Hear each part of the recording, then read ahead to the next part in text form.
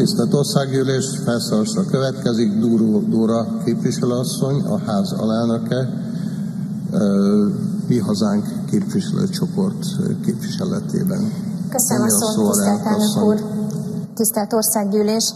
Önök ismét bebizonyították, hogy nem tudnak mit kezdeni az oktatással, és nem tudnak mit kezdeni a pedagógusoknak a tiltakozásával.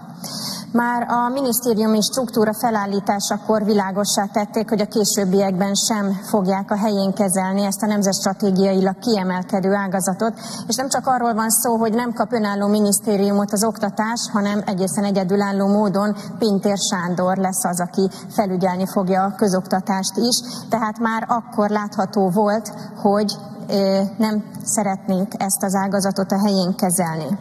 Önök ismét kétharmados felhatalmazást kaptak, ezért jogi értelemben lehetőségük van arra, hogy ellehetetlenítsék a pedagógusoknak a sztrájk jogát, és minden bizonyal ezt holnap meg fogják tenni. Lehetőségük van arra, hogy szőnyeg alá söpörjék azokat a problémákat, amelyek az oktatásban nap mint nap felmerülnek, és lehetőségük van arra, hogy úgy tegyenek, mintha minden rendben lenne, de ettől még a problémák nem fognak megszűnni. Mert a gyermekeink minden nap bemennek olyan intézményekbe, ahol kiállnak a pedagógusok 20-30 gyermek elé, becsukják maguk mögött az ajtót, és onnantól kezdve rájuk bízzuk a mi gyermekeinket, rájuk, akik több időt töltenek egyébként velük, mint mi szülők.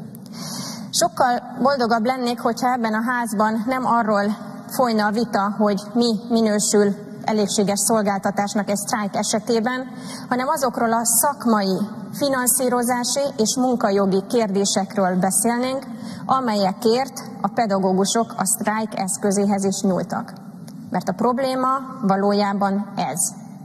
Vannak szakmai, finanszírozási és munkajogi nehézségeik azoknak az embereknek, akik a jövő nemzedéket nevelik fel, és akik nap mint nap találkoznak a mi gyermekeinkkel de önök válaszra sem méltatják őket.